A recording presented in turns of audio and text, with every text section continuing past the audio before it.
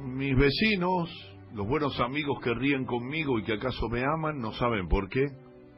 A veces me sobresalto sin motivo aparente e interrumpo de pronto una frase ingeniosa o la narración de una historia y giro los ojos hacia los rincones como quien escucha.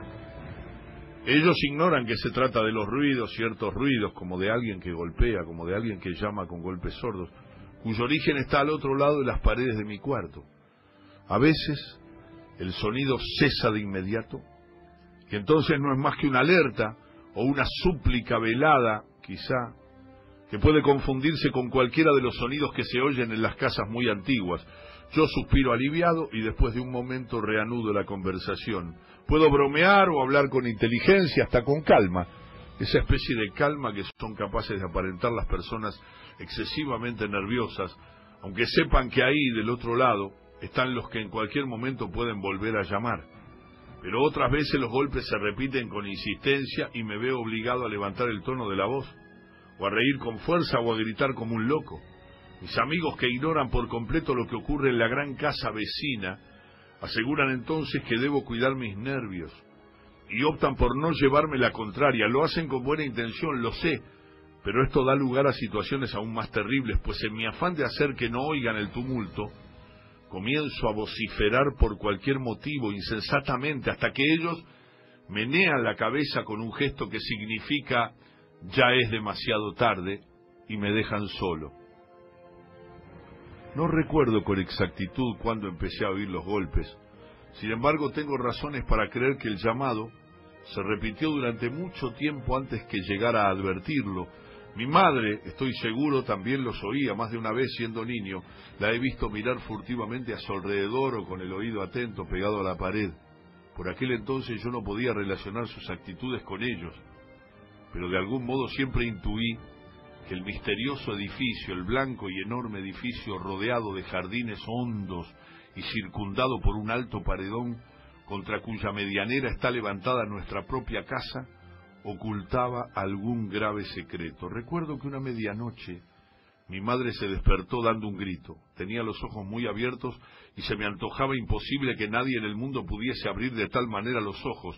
Torcía la boca con un gesto extraño, un gesto que en cierto modo se parecía a una sonrisa, pero era mucho más amplio que una sonrisa vulgar. Se extendía a ambos lados de la cara como las muecas de esas máscaras que yo había visto en carnaval Sonriendo y mirándome así, me dijo como quien cuenta un secreto. ¿Has oído? No, madre, respondí, la contemplaba extasiada, pues nunca había visto un gesto tan extraordinario y divertido como ese que ahora tenía su cara. Son ellos, murmuró, son ellos. Movió rápidamente los ojos hacia todas las partes, como si temiera que alguien que no fuese yo pudiera escuchar nuestra conversación. Ellos quieren que, que vaya. Nos reímos mucho aquella noche y yo me dormí luego apaciblemente entre sus brazos. A la mañana mi madre no recordaba nada, o no quería hacer notar que recordaba, y a partir de entonces se volvió cada día más reconcentrada y empezó a adelgazar. Usaba, lo recuerdo, un largo camisón blanco que la hacía parecer mucho más alta de lo que en realidad era, y se deslizaba lentamente junto a las paredes. Estoy seguro sí que ella sabía quienes viven del otro lado. Y hasta es probable que también lo supieran mis parientes, que muy de tarde en tarde y a medida que pasaba el tiempo, cada día con menos frecuencia, solían visitarnos, pues en más de una ocasión los he oído reconvenir a mi madre. Pero Catalina, mujer, ¿no tenías otro sitio donde instalarte que al lado de un... y callaban o bajaban el tono aunque alguna vez yo creí entender la palabra que ellos no se atrevían a pronunciar en voz alta.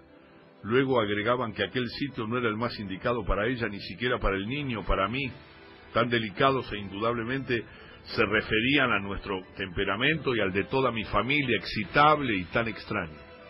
Un día por fin se la llevaron.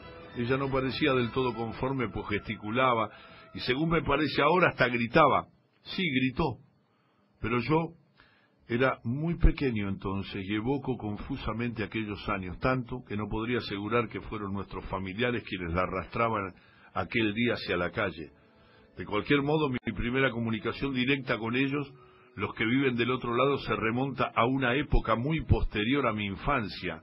Algo, alguna cosa triste u horrible debió de haberme pasado aquella noche, porque al llegar a mi casa y encerrarme en mi cuarto, apoyé la cabeza contra la pared. Al hacerlo sentí un ruido atroz, un crujido como si en realidad en vez de arrimarme me hubiera arrojado contra ella. Y ahora que lo pienso, eso fue lo que ocurrió, porque un momento después yo estaba tendido en el piso y me dolía espantosamente el cráneo. Entonces oí un sonido análogo, o mejor, idéntico, al que había hecho mi cabeza un segundo antes.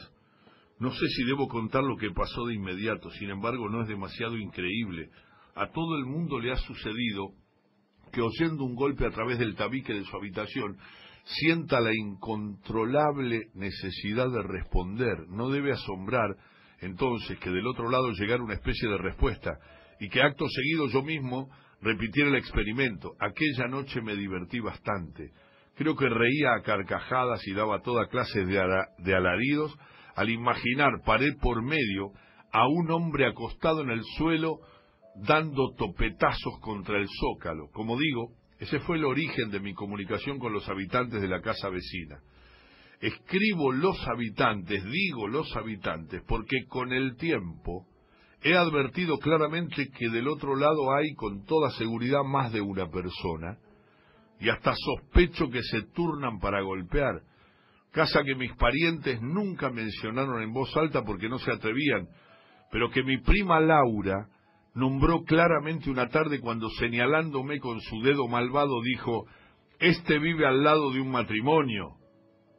Solo que ella dijo otra cosa, una palabra que en mis oídos de niño sonaba como matrimonio y que alcanzó a pronunciar un segundo antes de que alguien le tapara la boca con la mano. Por eso, mis amigos, los buenos amigos que ríen conmigo y que tal vez me aman realmente ignoran el motivo de mis repentinos sobresaltos cuando ellos, los que viven pared por medio, me advierten que no se han olvidado de mí. Y a veces, como he dicho, es un llamado sordo, rápido, una especie de tanteo o de insinuación velada que cesa de inmediato y que puede no volver a repetirse en horas o en días o aún en semanas, pero en otras ocasiones, en los últimos tiempos sobre todo, se transforma en un tumulto imperioso, violento, que surge desde el zócalo a unos 30 centímetros del suelo, lo que no deja lugar a dudas acerca de la posición en que golpean, ya que no ignoro el instrumento que utilizan para tentarme y siento que debo contestar que es inhumano no hacerlo, pues entre los que llaman puede haber algún ser querido, pero no quiero oírlos y hablo en voz alta y río a todo pulmón y vocifero de tal modo que mis buenos amigos menean la cabeza con un gesto triste y acaban por dejarme solo, sin comprender que no debieran dejarme solo aquí en mi cuarto fronterizo al gran edificio blanco, la gran casona blanca de ellos, oculta entre jardines hondos y custodiada por una alta pared.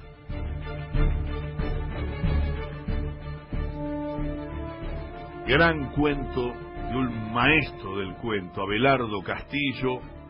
El cuento se llama Mis vecinos golpean